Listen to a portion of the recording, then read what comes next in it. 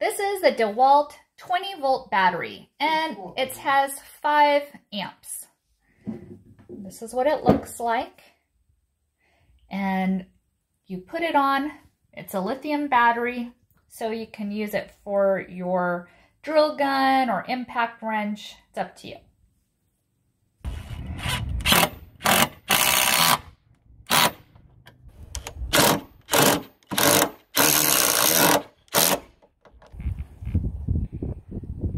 Works great.